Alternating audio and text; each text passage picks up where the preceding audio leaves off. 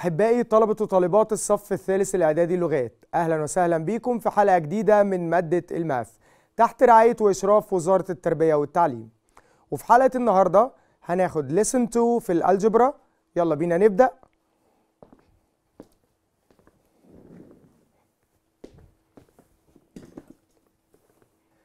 ومعانا lesson 2 النهاردة في الألجبرا وهو solving an equation of second degree in one variable بطريقتين graphically and algebraically إحنا كنا في الحلقة الأولى حلينا system of linear equations بيبقوا two equations of two variables first degree النهاردة معانا one equation بس second degree in one variable عندنا طريقتين في الحل تعالوا بينا نتعرف عليهم الطريقة الأولى هي graphically ودي اللي هنبدأ بيها وهي related للترم الأول. Solution of a quadratic equation. إيه quadratic quadratic equation ده كان الاسم بتاع second degree equation. ال solution بتاعها graphically عن طريق إن أنا بعمل graph لل function زي ما أخدناها في الترم الأول. بعمل graph لل function وبشوف ال point of intersection with x axis. بشوفها cut x axis عند ال values كام. وبالتالي هيكون عندي 3 cases. اول أول case لو عندي ال curve بالشكل ده سواء opens downward زي اللي قدامنا أو حتى opens upward لو باصص لفوق. الفكرة cut x axis اللي هو ال horizontal line هنشوف ال curve بتاعنا cut x axis كم مرة؟ فاول case عندي عندي ال curve cut x axis مرتين. يعني at two points يبقى ده معناه I have two unique real solutions. معايا two solutions real. طيب نشوف ال case التانية. ممكن تكون ال graph أو ال curve بتاعي cut x axis only one time. يعني لمسنا ال x axis مرة واحدة بس فبنقول we have one unique real solution. سواء برضو ال curve كان opens upward أو open downward مش دي اللي بتفرق معايا. اللي بيفرق معايا أنا لمست إكس اكسس كم مرة؟ في الرسمة الأولى مرتين في الرسمة الثانية مرة واحدة يبقى عندي one solution.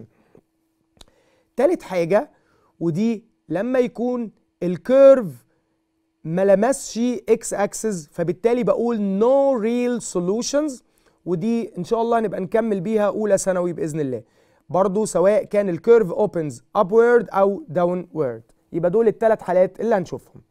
طيب معانا فيديو من بنك المعرفة المصري هنشوفه الأول وبعدين نرجع نكمل. After we have learned how to solve the quadratic equations in one variable, which is executed by making the right-hand side equal to zero and then factorizing the left-hand side to get the values of the variable. Click on Start button to solve more examples together. Let's find the solution set of the following equation. 4x to the power 3 equals 9x. Firstly, make the right-hand side equal 0. Therefore, 4x to the power 3 minus 9x equals 0. Then, take x as a common factor from the equation to the other factor, which is 4x squared minus 9 equals 0. Click on the arrow to complete the solution. Secondly, factorize the left-hand side to get the value of x. So we can factorize the other factor as a difference of two squares, as you see in the picture. Thirdly, equalize all values of x to 0. As a result, x equals 0 or 2x minus 3 equals 0 or 2x plus 3 equals 0. Then, get the values of the variable x, which are x equals 0 or x equals 3 over 2 or x equals negative 3 over 2. Now we have all the values of x. Therefore, the solution set is 0, 3 over 2, and negative 3 over 2. To solve another example, click in the opposite equation, y plus 3 all squared equals 16. Find its solution set. Firstly, make the right-hand side equal 0. Secondly, factorize the equation to get the value of y. So, we can get y plus 3 plus 4 multiplied by y plus 3 minus 4, which equals 0. By addition and subtraction, we will get that y plus 7 multiplied by y minus 1 equals 0. Click on the Thirdly, equalize all values of y to 0, which are y plus 7 equals 0 or y minus 1 equals 0. Then we get that y equals negative 7 or y equals 1. As a result, the solution set is negative 7 and 1. In the opposite equation, we have a fraction. So how can we solve this equation? In this case, we ought to multiply both sides by x. Therefore, x multiplied by x plus 3 over x multiplied by x equals 4 multiplied by x. By simplifying, we get that x squared plus 3 equals 4x. Click on the arrow to complete. Now we got the quadratic equation so that it equals the right-hand side, which equals 0, as we can see on the screen. Then factorize the equation to x minus 3 multiplied by x minus 1, which equals 0. As a result, the value of x equals 1 or 3, and the solution set equals 1 and 3. So ودلوقتي معانا example number 1 graph the function f of x equals x squared minus 3x minus 10 taking the interval negative 3 and 6 and from drawing find solution set of the equation equals 0 so like the first term زي الترم الأول ال- عايزين نجيب السولوشن set بتاع الايكويشن دي ولكن from the graph ودي الطريقة الأولى اللي هنشتغل عليها النهارده.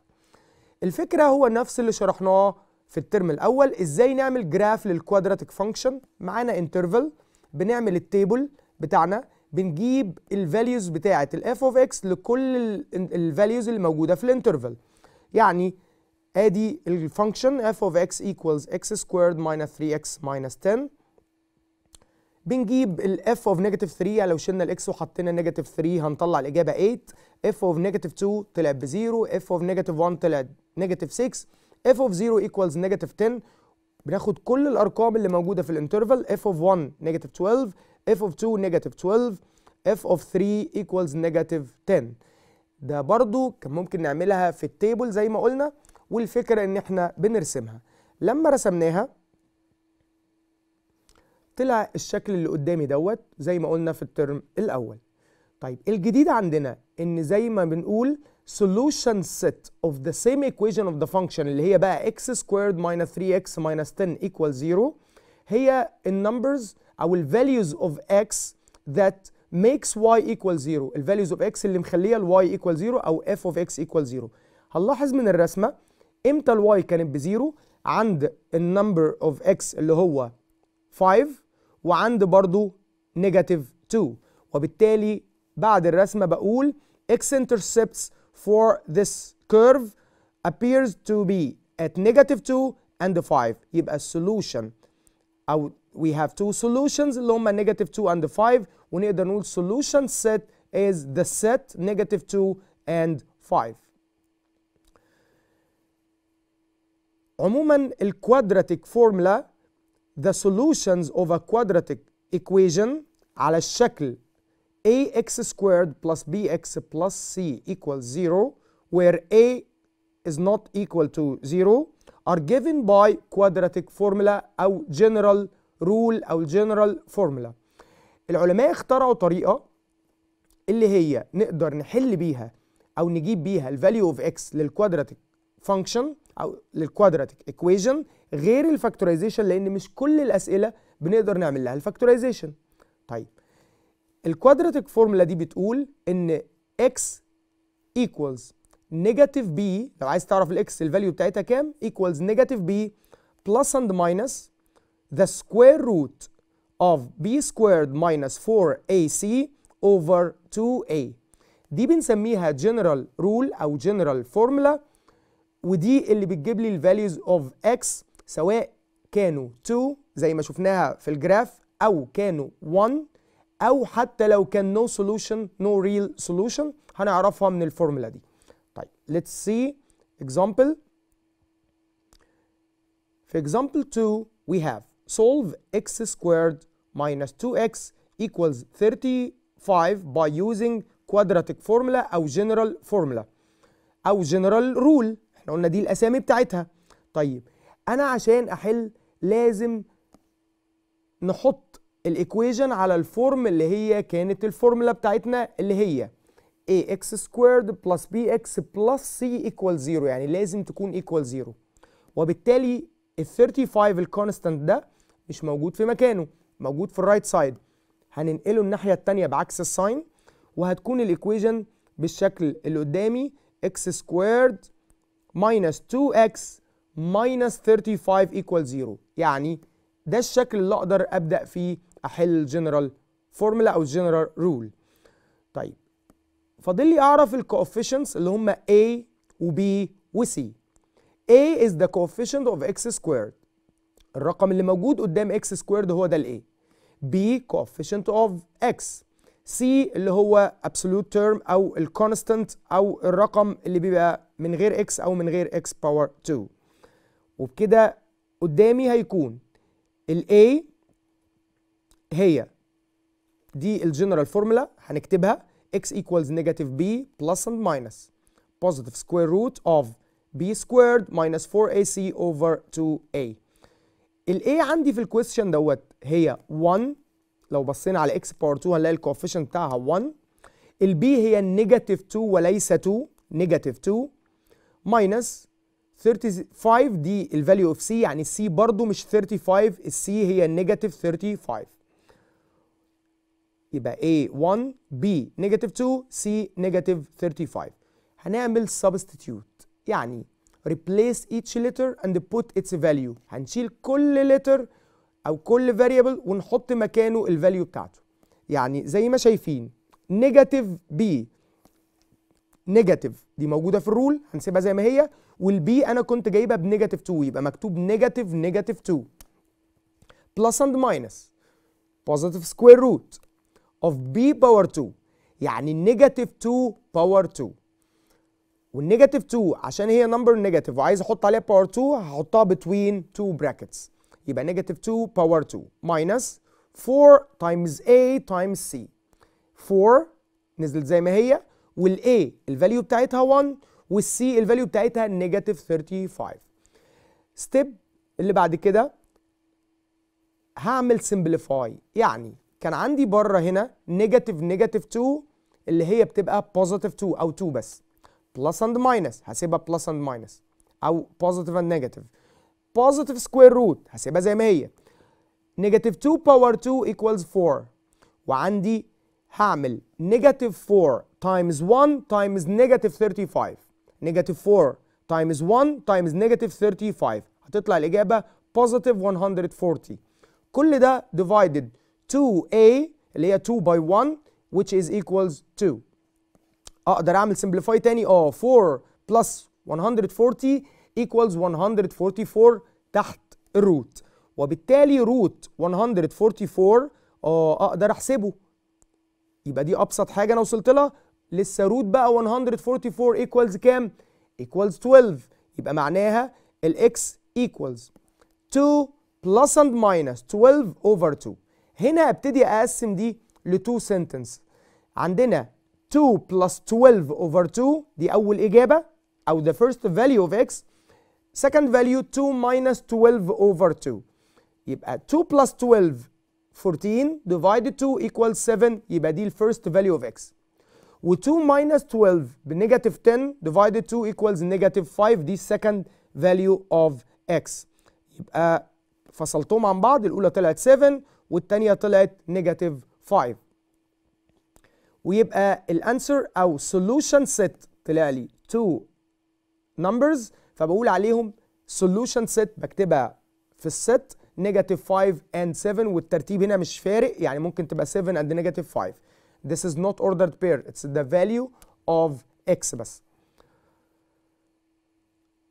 نشوف example 3 solve 2x squared minus 2x minus 5 equals 0 by using quadratic formula أو general rule round the to the nearest tenth if necessary for the equation let's see بقى. إحنا قلنا أول step في الحل إن في ال equation اللي قدامي دي هي جاهزة already معمولة على ال form بتاعت ال general rule هنجيب ال coefficients بتاع x squared و coefficient of x وال absolute term أو ال constant اللي بيبقى لوحده.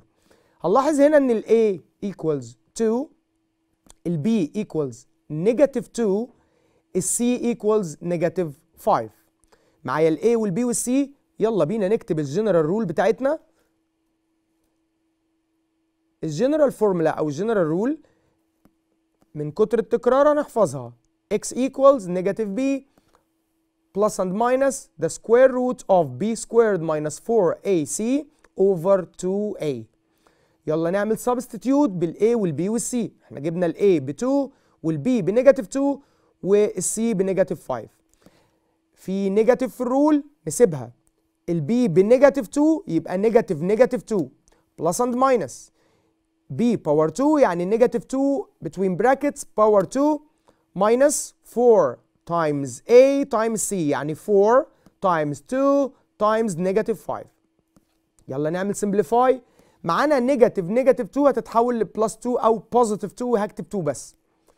معانا جوه ال root negative 2 power 2 هتبقى 4 ونلاحظ إنها دايما بتبقى positive لأنها squared عندنا بقى negative 4 times 2 times negative 5 هتطلع positive 40 يبقى الإجابة 2 plus and minus root 4 plus 40 وتحت كان 2a يعني 2 times 2 اللي هي طلعت 4 يلا كمان معانا simplify تاني 4 plus 40 تحت ال root ب 44 بس أنا معرفش الإجابة بتاعت root 44 أحيانا بقى بنعمل وسائل مساعدة. يعني ممكن نقول لحضرتك approximate to nearest tenth زي في ال question بتاعنا يبقى ده معناه إن حضرتك هتستخدم ال calculator والإجابة بتاعة ال x هنكتبها approximated to the nearest tenth.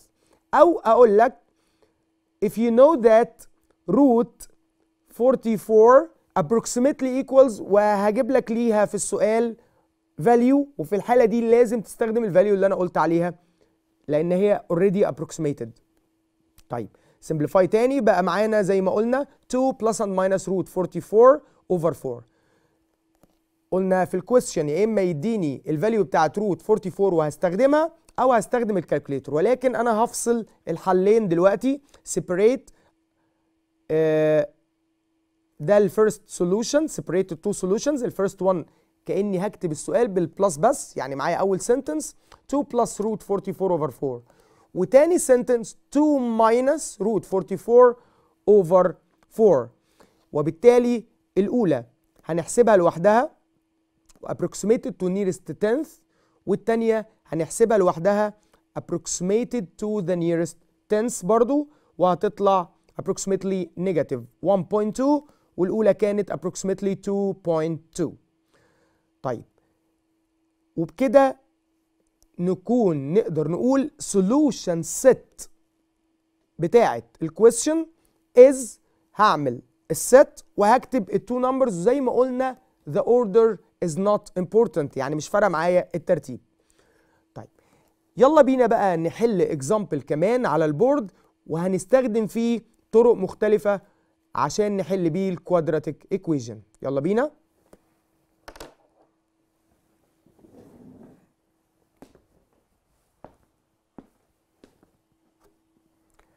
وهنشوف example 4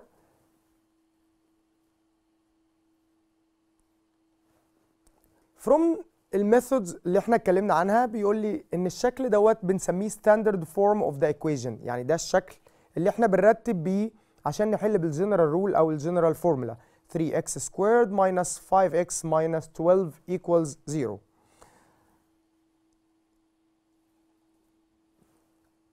آه تعالوا نجرب بقى طرق تانية نقدر نحل بيها ال quadratic equation طرق تانية دي يعني حاجة جديدة؟ لا ده كده كل اللي إحنا درسناه. إحنا في تانية إعدادي عرفنا إزاي نحل الكلام دوت factorization وعرفنا كمان إزاي نقدر نحل completing the square والسنة دي عرفنا إن ال general formula ممكن تحل لي ده.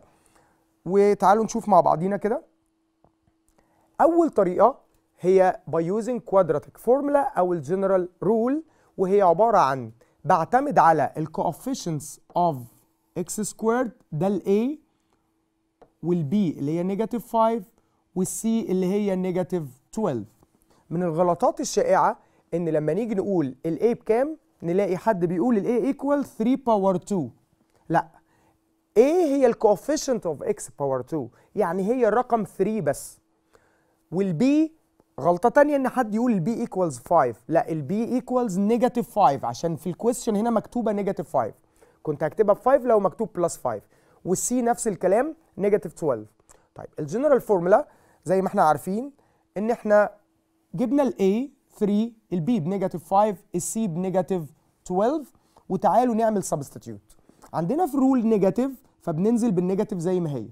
وال b ال value بتاعتها كانت negative 5 فهتتحط جنب ال negative يبقى negative negative 5 plus and minus معانا the square root of b power 2 قلنا برضو غلطة كمان إن حد يكتب negative 5 ويحط عليها power 2 من غير ال bracket فما بيجي يحسبها بيسيب ال negative ويعمل 5 power 2 ودي برضو من الغلطات الشائعة.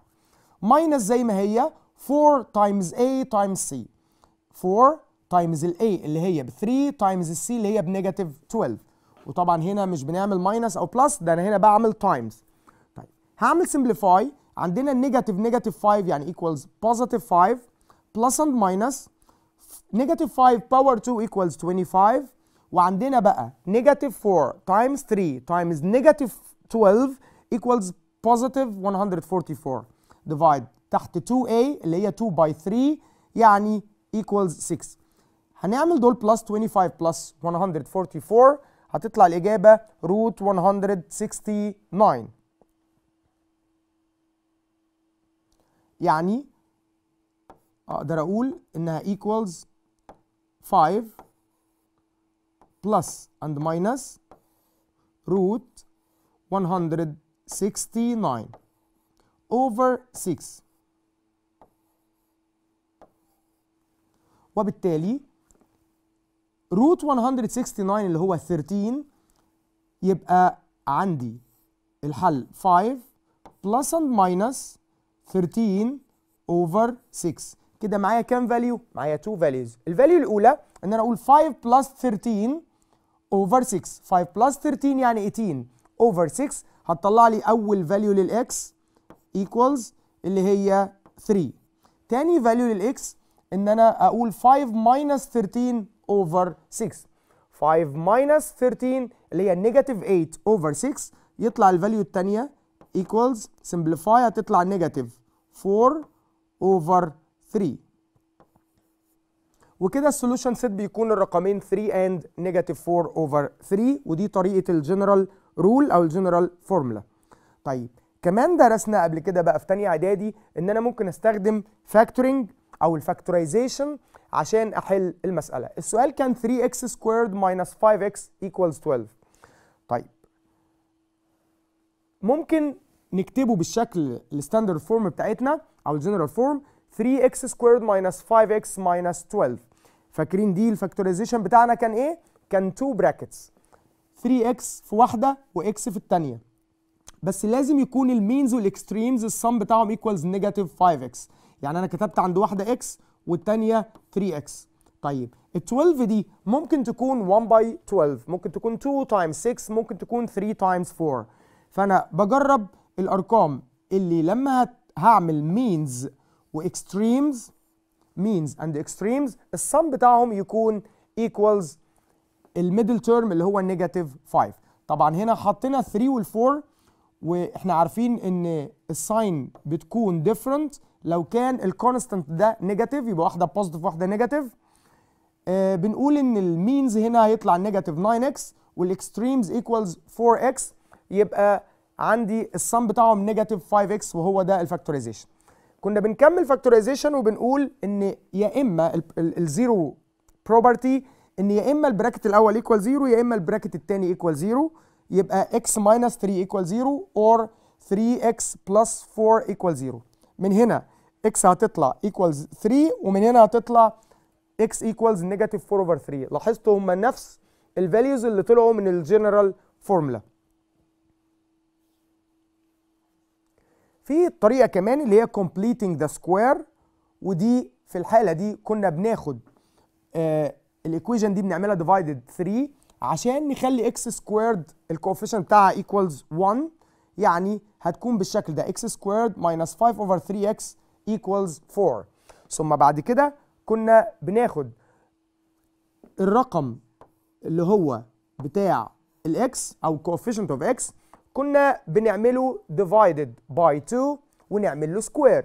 يعني 5 over 3 لما أعملها divided by 2 و squared عشان أعمل completing لل square زي تانية إعدادي بتطلع لي equals 25 over 36 طيب لأن هي هتطلع 5 over 6 لما أعمل square تطلع 25 over 36 كده ده معناه إن أنا I can add 25 over 36 لل both sides في الناحيتين. وبكده ال left side ده بيبقى perfect square يعني أقدر أخليه bracket power 2 وال right side اعمل له simplify يعني هتكون بالشكل دوت واقدر احل السؤال ده بالشكل ان عندي property ان any number squared equals another number لو عايز أجيب الحل فبقول by taking the square root of each side يعني x minus 5 over 6 equals positive and negative the square root of 169 over 36 يعني هودي ال 5 over 6 in the other side بالبلس وبكده هيطلع لي الاجابتين عندي 5 over 6 هوديها بال plus فهتبقى plus 13 over 6 أو 5 over 6 minus 13 over 6 هيطلع لي نفس ال two values x equals 3 and x equals negative 4 over 3 وبكده نكون وصلنا لنهاية حلقتنا النهاردة وإن شاء الله نلتقي في حلقات جديدة.